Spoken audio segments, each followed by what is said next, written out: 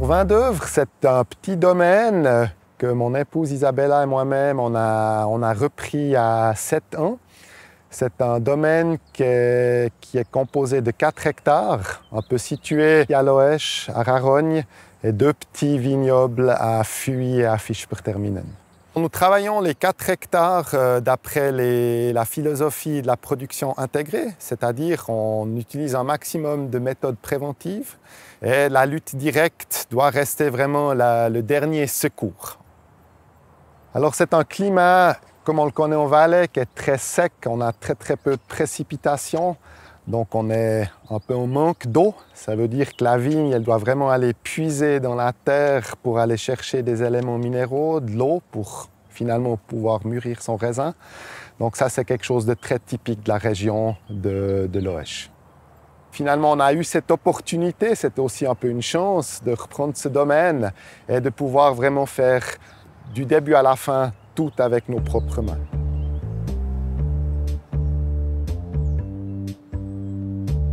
En quelques parcelles qu'on a reprises ici à l'Oèche, on subit beaucoup de traitements avec des herbicides, des herbicides racinaires. Et on se retrouvait souvent confronté à des sols qui étaient nus, où il y avait très très peu ou quasiment plus d'activité. Bon, c'est évident, au début, quand on a repris le domaine, on connaissait encore pas tous les sols, tous ces microclimats qu'on a là. Donc, il y a eu beaucoup d'observations qu'on a fait. On a dû faire des, on a fait des analyses de sol.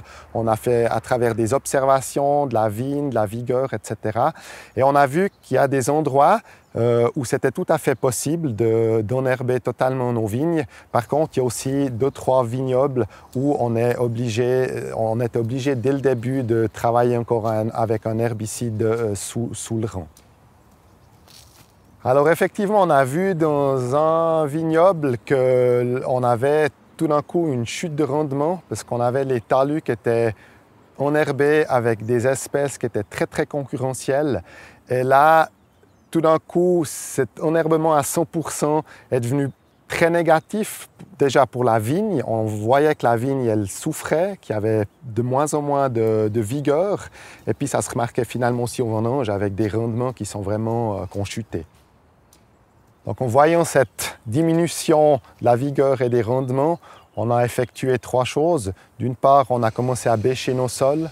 On a installé un goutte à goutte pour donner de l'eau au bon moment à la plante et on a utilisé un herbicide sous le rang pour diminuer la concurrence avec l'herbe. On, a, on fauche avec, euh, majoritairement avec une faucheuse à fil entre les cèpes. Euh, parfois, dans des petites banquettes, on arrache aussi à la main. Et dans, les, dans le cavaillon, on, soit on bêche ou on mulche euh, pour vraiment euh, limiter la pousse de l'herbe et la concurrence. En suivant le millésime, les précipitations qu'on a, le type de sol, ce sont entre 2 et 4, 5 passages sous les cèpes. Hein. Donc c'est quand même c'est du temps, c'est beaucoup de temps plus. Et il faut plus de personnel aussi, et le tout a des coûts. C'est clair que si on met tout le raisin nous-mêmes en bouteille, on a une certaine valeur rajoutée. On peut là aussi au niveau des coûts euh, se permettre d'avoir un peu moins de rendement sur nos vignes. Par contre, ce qui est très intéressant, c'est qu'au niveau de la vigueur, on voit maintenant il y a des vignes qui sont vraiment dans un équilibre où on n'a pas besoin de devoir aller couper trop de raisins et on voit une vigne qui se sent à l'aise, qui se sent bien en place d'une part, on a remarqué qu'au niveau de l'équilibre de la plante, quand on doit nous-mêmes pas trop aller influencer le rendement, c'est qu'on a des raisins qui sont vraiment d'une belle qualité, d'un bel équilibre. Moi, personnellement, je remarque au niveau de la fraîcheur des vins, on a plus de fruits euh, dans nos vins. Au niveau des analyses, il me semble que les pH sont un peu plus bas, poil plus d'acidité. Et ça, c'est des paramètres pour un onologue finalement qui sont très intéressants. Merci unserem Barrikauer. Wir tun hier ähm, die Barrikweine ähm, lagern. Die werden hier ausgebaut zwischen 12 und 24 Monaten. Wir haben zwei weisse, Chardonnay und Viognier, die hier ausgebaut werden. und ähm, vier rote. Das ist Humagne Rouge, Pinot Noir, Syrah und Gamare. Wir haben äh, im Sommer einen Brief bekommen, wir sind mit unserem Gamay nominiert und haben den ersten Platz gemacht mit unserem Gamay.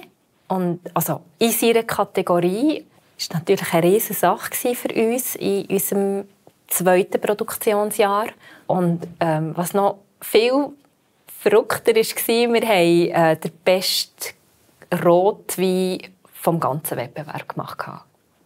Ähm, aber wir haben ja begrünte Reben und ähm, wir haben mal Unkrautkund während dem Studium, aber das ist ja nicht nur Unkraut. Also Unkraut ist eigentlich das, was man nicht haben will, was einem stört. Aber man kann eigentlich sehr viele von diesen Sachen kann man essen.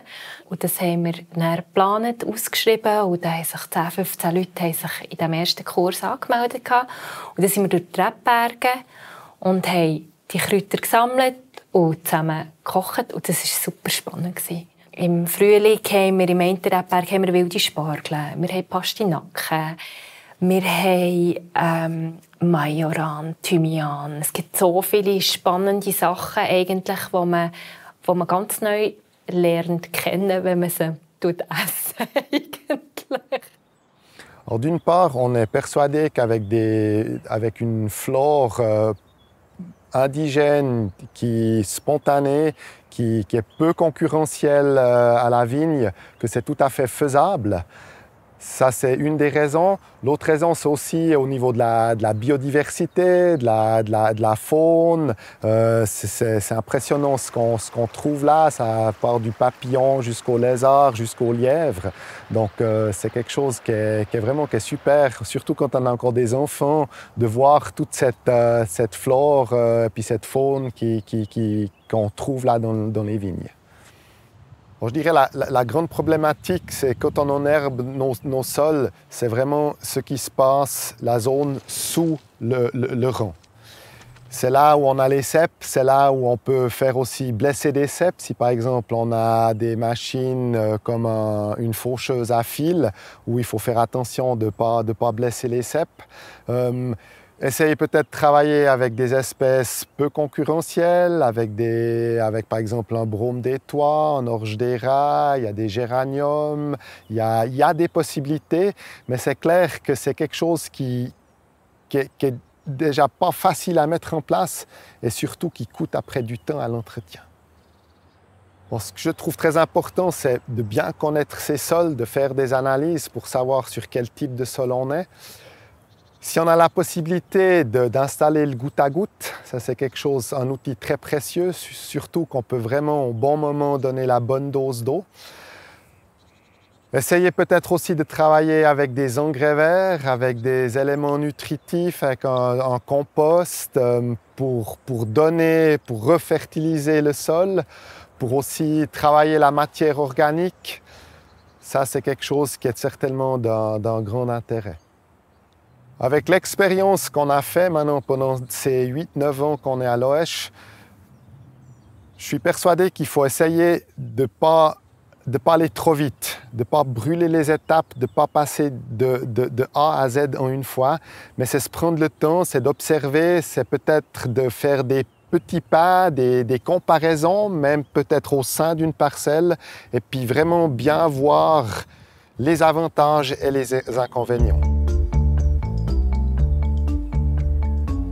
D'une part, il y a toujours cette thématique des résidus, que ce soit dans l'eau, euh, dans l'air, euh, sur nous, dans la peau. Euh, on lit beaucoup des produits potentiellement cancérigènes. On est quand même, on doit se protéger tout. On s'est dit que là, il y a certainement un, un moyen pour diminuer ces produits de synthèse. Et puis, on doit aussi dire, ici en Valais, on est dans un, dans un climat qui nous permet de renoncer un maximum à des produits de synthèse. Et je prétends qu'ici, dans le Haut-Valais, on a encore des conditions plus sèches où vraiment c'est possible de traiter avec du cuivre et du soufre, même s'il y a un, deux, trois, suivant le millésime, des traitements en plus. Alors au début, on est toujours sceptique parce qu'on se dit, on, fait quelque chose, on n'est pas sûr si ça va fonctionner. Et moi, je suis très sensible à ces traitements. Je dis toujours, ça c'est l'affaire du chef. C'est le chef qui doit faire ces traitements parce que c'est lui qui est, je dis, le mieux, le mieux formé, le plus précis peut-être. Euh, mais j'ai vite vu que ça allait, que ça allait très très bien, qu'on a, on, dispose de produits euh, biologiques qui sont tout à fait, euh, qui, qui tiennent la route. Et finalement, après deux ans, on a, tout traité avec du cuivre et du soufre. Alors au niveau des quantités, vu qu'on est quand même dans un climat qui nous permet, qui est sec, qui nous permet de ne pas travailler avec des trop grandes doses, au niveau du cuivre, on est autour de 1,5 kg, 2 kg, suivant, suivant les millésimes. On a commencé il y a trois ans à ajouter, ben, par exemple, du bicarbonate de potassium pour encore diminuer le soufre, ce qui nous permet aussi au niveau de la fermentation d'avoir des meilleures synergies fermentaires. Euh, il y a encore d'autres produits, des, huiles essentielles. Il y aura certainement encore à l'avenir d'autres produits qui vont venir. Et si peut-être on on pourrait encore diminuer le cuivre, voire peut-être aussi encore trouver une ou deux alternatives pour encore diminuer le soufre. Euh, je dis pas non, mais il faut être prudent.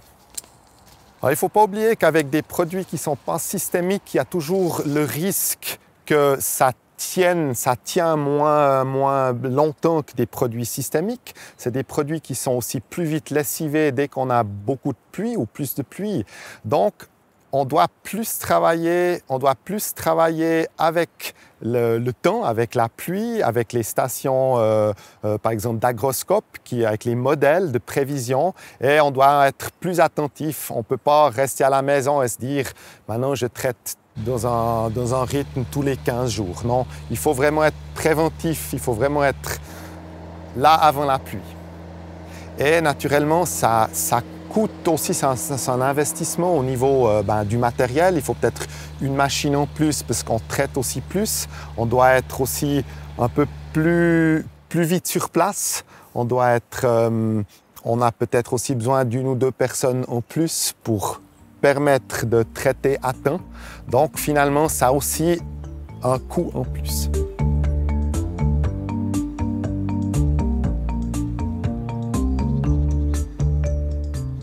D'une part, les, ravageurs secondaires, on peut, les lutter contre avec des, méthodes simples, comme par exemple aller ramasser des boarmies ou des noctuels pendant la nuit, pendant cette, fenêtre où il y a des dégâts qui sont possibles. Et tout ce qui est euh, euh, des, des, papillons, comme le cochilis ou le démis, grâce à la confusion, euh, on, a, on a pu quasiment les éradiquer, donc on n'a plus besoin d'utiliser des insecticides euh, dans le vignoble. Alors on fait nos, calculs euh, d'après la surface foliaire, d'après aussi les, connaissances qu'on a de nos, surfaces et on essaye d'être au plus précis au niveau des litres hectares de manière que quand on a fini un traitement, ben, que le, réservoir il soit vide et qu'on n'ait pas encore des produits, à, euh, des restes qu'on ne peut pas utiliser pour, ce traitement. C'est vrai que le matin, on a aussi moins de vent, il fait plus frais, il fait plus calme. Et ça, ça a naturellement aussi une, une grande influence sur l'efficacité des produits. On a moins de dérives ou d'envolement des produits et on touche vraiment le feuillage ou le raisin. Mon souhait, ce serait d'une part qu'on ait, ait, plus de, place de remplissage, de place de nettoyage. Ça, c'est un peu un manque qu'on a, euh, parce qu'on sait qu'on ne peut pas remplir et vider euh, tout n'importe comment, n'importe où. Euh, donc, par exemple, moi, je regarde que je finisse ici à Rarogne, où il y a tout qui est enherbé, où j'ai de l'eau à disposition, où je peux rincer ma cuve, l'extérieur, aussi un peu à l'intérieur. Je peux, je peux vider les, les petits restes qui restent ici. Euh, voilà, mais certainement que des places de remplissage et surtout des places de nettoyage, euh, ça c'est un grand souhait de toute la branche.